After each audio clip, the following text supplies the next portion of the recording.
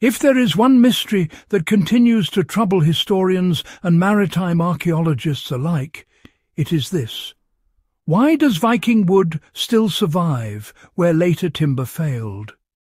Ships pulled from fjords after a thousand years, stave churches standing through endless winters, harbour pilings preserved beneath cold water, all point to a method that went far beyond good carpentry.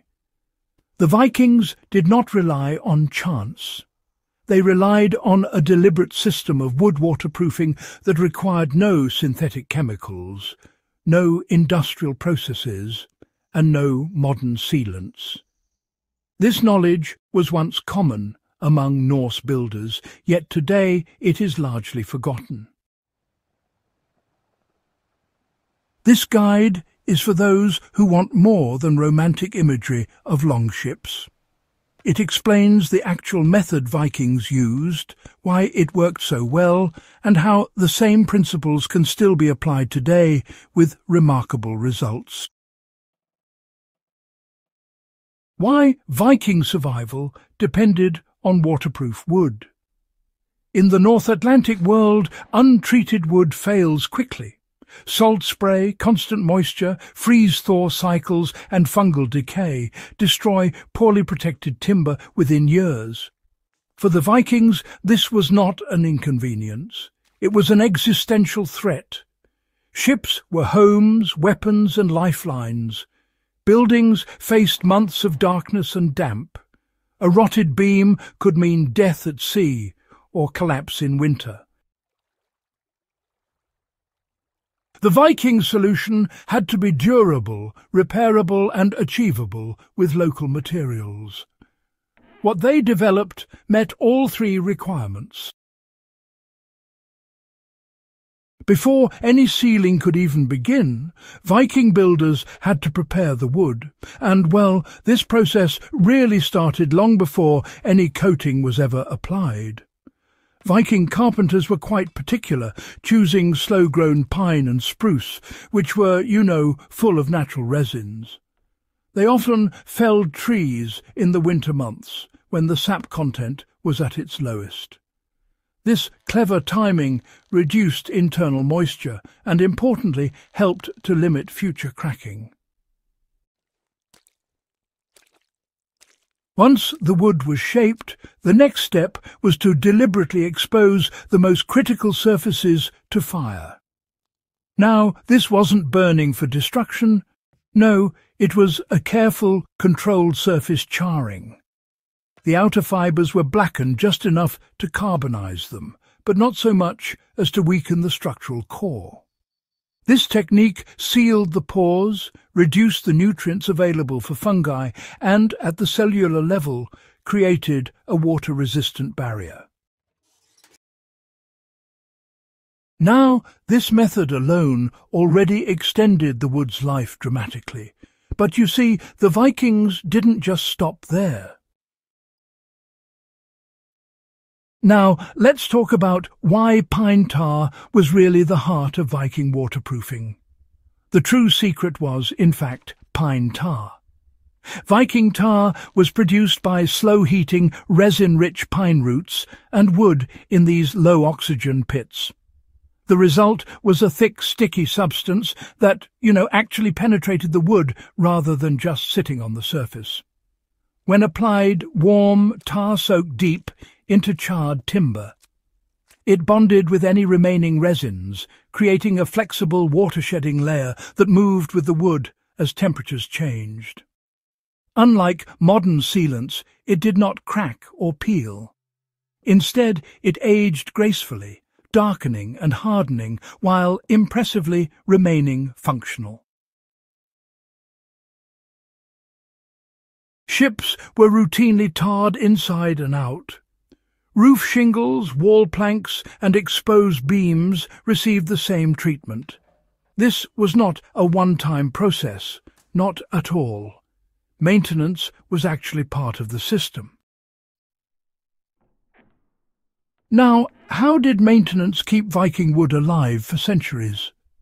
Well, one of the most overlooked aspects of Viking waterproofing is honestly reapplication. Tar was reapplied regularly, especially on ships.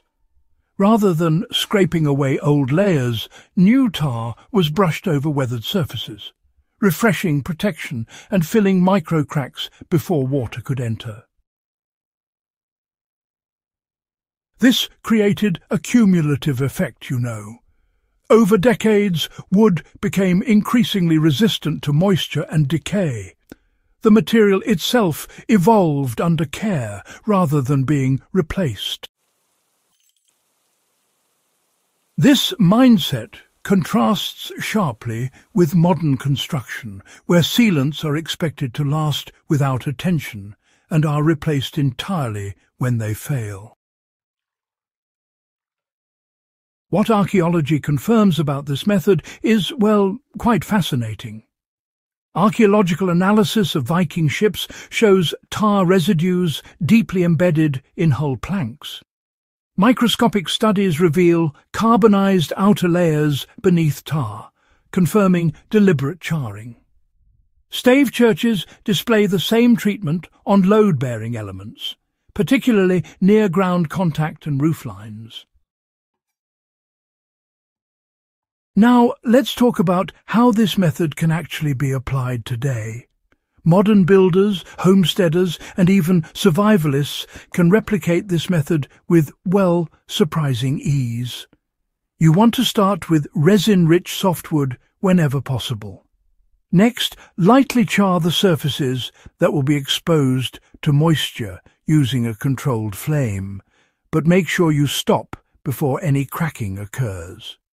Allow the wood to cool completely. Then apply natural pine tar that's been warmed gently until it's fluid. Brush it into the surface, always working with the grain.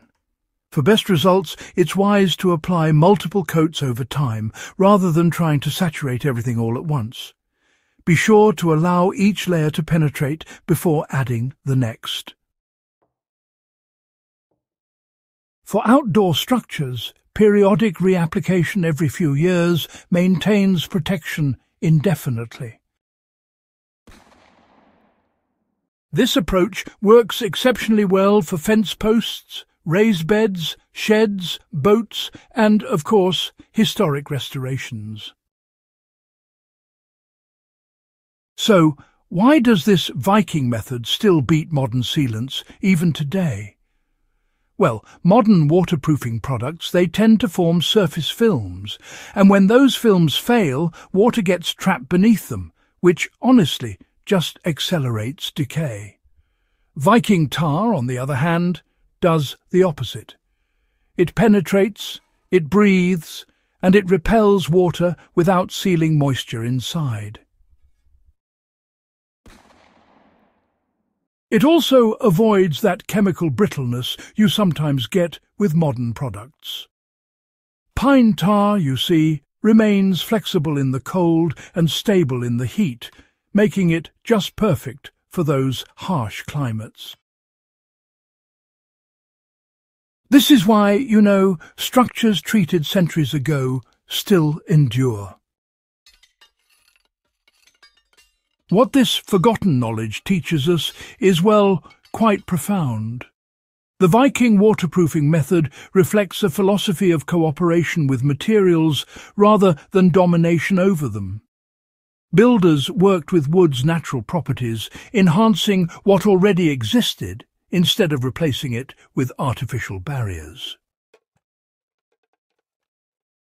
This approach demands patience, observation and maintenance, but it rewards those qualities with longevity that modern construction rarely achieves. If this deep exploration into lost Viking engineering added value to your understanding of history and practical craftsmanship, subscribe to the channel and share this guide with others who appreciate durable knowledge. These methods survive only if we remember and use them.